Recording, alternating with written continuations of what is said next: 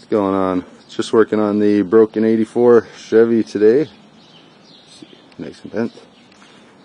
Just trying to get off the uh, original gas tank. He's all half hanging under there. I don't know if you can see how rusty it is. Look at that. That's not, that's just from the tank. Uh, who knows what it looks like in there.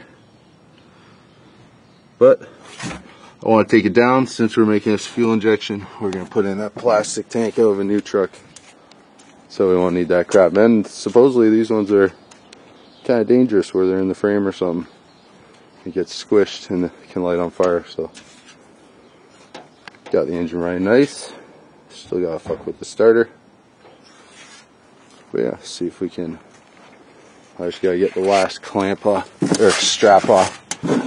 It just had a little uh, I don't know if you can see.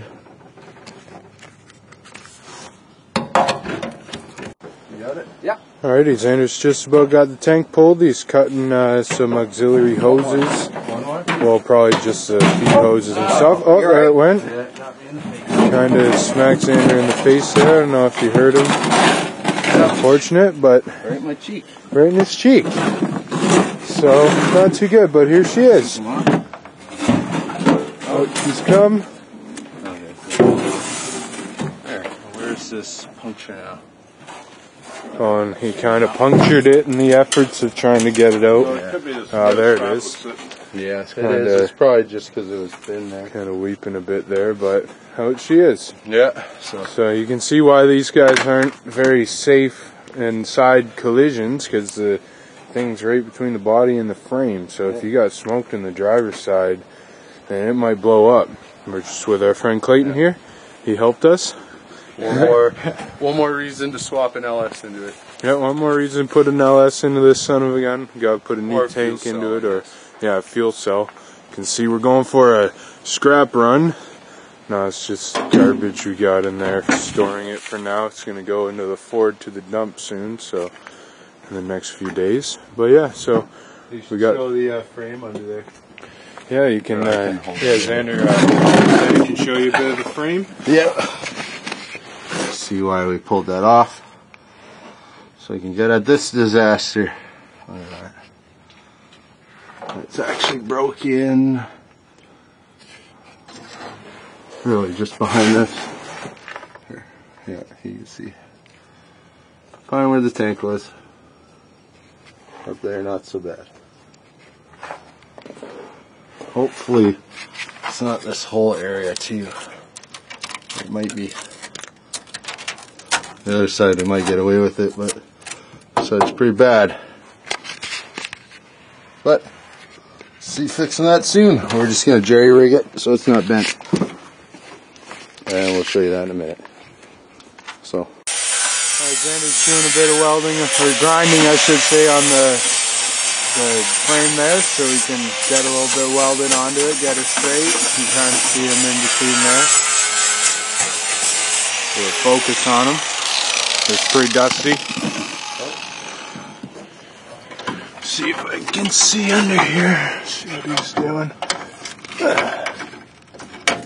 just trying to get that off. Getting some crap off. Nice old gas tank strap.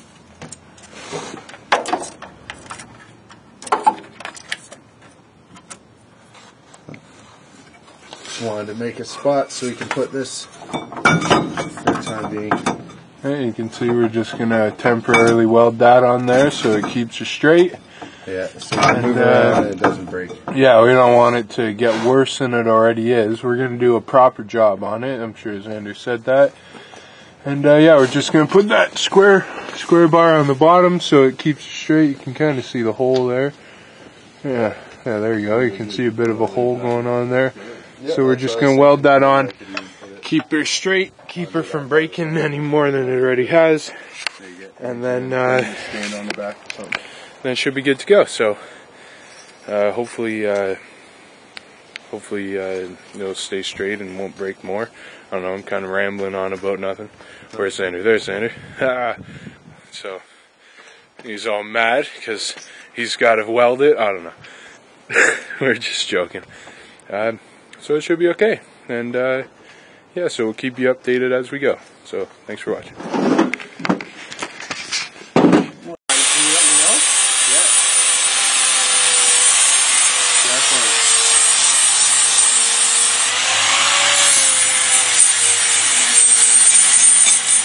You can see our approved garage working footwear, flip flops. Approved by the uh, FDA as good, useful workwear. And, you know, shoes, not boots. So, you know, keep that in mind. What? Just talking about our approved working footwear, Well, approved by the FDA. approved by Hot Rod Magazine. Our, um, yeah, they wear flip flops. So, Favorite show, Roadkill. Yeah, Road- a- Roadkill and Hot Rod, the guys wear flip flops and Make stuff. sure so, to always have flip flops when plasma cutting and welding. Yep. Flip flops, open toed shoes is preferred for yeah. grinding, welding, cutting, trimming. So, you know, That way, if there's a fire, you can get it out. hmm you can really stomp it out and see where the hottest part of the fire is. Because Andrew's just aligning this guy up. And you can't really see because it's under the truck, and I don't want to bend over too far right now. But when he uh, when he does some welding, I'll uh, show you guys that. So post you know when you're gonna start, so I can. All right, Xander's welding in the bar now, so uh, I'm gonna cover my eyes while he welds, and hopefully all goes good. I'm good, Xander. I'm not looking. Hopefully, I'm seeing. Seeing something. No, I know.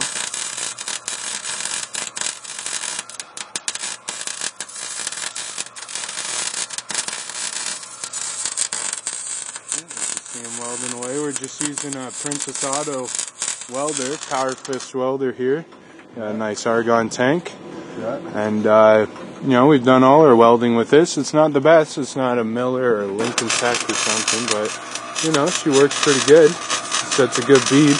You just gotta kind of work with it, finagle it a little bit, and then you can get, uh, get everything going good.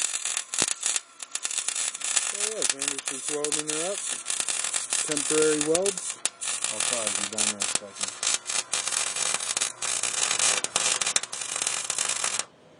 It's a little bit spackly because it's kind of a rusty spot of the frame. One sec, I'm just gonna. Yeah, those are pretty good looking welds, so if I do say so myself. Or, you know, again, like I said, it's not a.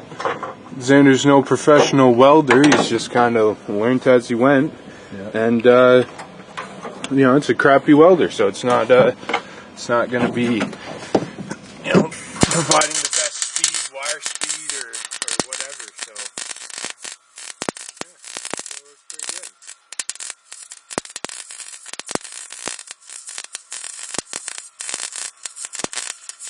and like the frame and the and the uh, piece of metal aren't the best uh, prep, so it's a little spackly because of that. It's pretty rusty. So uh, not getting the best sort of uh, Yeah, when we, contact and stuff. when we weld it up properly, we're gonna get the uh, cut the rusty parts out, Yeah, not weld back on top of them. yeah. Like I said, this is only temporary, so this is only so it doesn't break more. This is not how we're gonna fix a frame. No. So we're gonna fix it properly. Proper piece of metal, proper proper frame piece piece. We're gonna gusset it. We're gonna we're gonna multi have it multiple multiply welded in different sections and you know nice thick welds. So go ahead.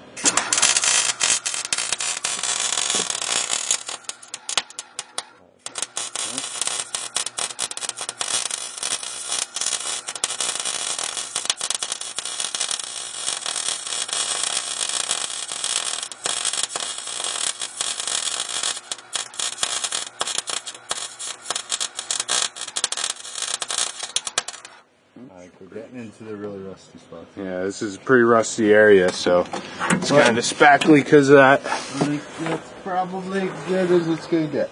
Yeah, you can see there's one weld there. You know, it's all right. It's not, uh, you know, it's not a like perfect seamless bead, but Xander's no professional welder, and we don't have professional welding tools, so we got. I would say it's pretty damn good for what it is. Oh, he didn't have the ground hooked up there. I'm going to try and make another little bit here. Just have some extra.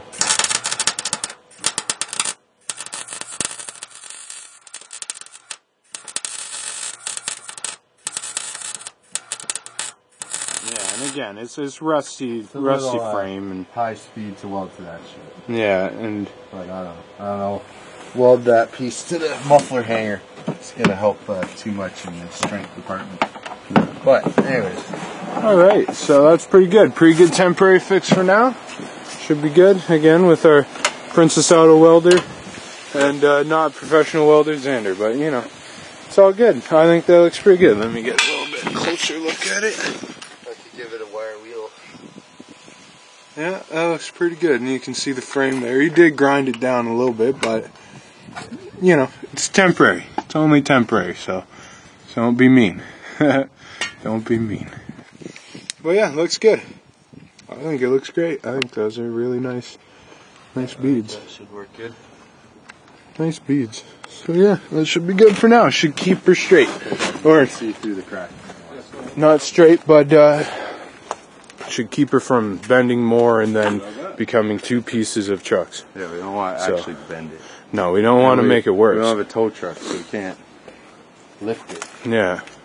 We don't have a hoist or anything, so nothing. Our truck doesn't have a wheel lift. It would be nice if we had one, but nope. So yeah. So I'll let you know as it goes. Oh yeah, uh, I'll show you the other side of the framework they did. Uh, the previous owner did a nice fix of the bed mount. It's kind of tight here. Yeah. Working in a small backyard here, so uh, one second. Gotta get down. Ooh. All right. It's hard to see, but you can see three hockey pucks stacked up top to keep the the bed from. Uh, you can kind of see it wiggle there, maybe. Not really, but yeah, that's uh, that's to keep it straight. That's our uh, temporary, previous owner's temporary bed fix there. So we're gonna try to get rid of all that. You can see the frame's pretty good everywhere else. So you can see the uh, plate you put in there. Uh, that wasn't us again, but you see the rot there too. So we're gonna pull it out, like cut out a piece to where it's good, and then weld her back in, and uh, yeah, should be good. So we're gonna definitely keep you updated on this, and uh, yeah, so all right, we'll keep you posted more.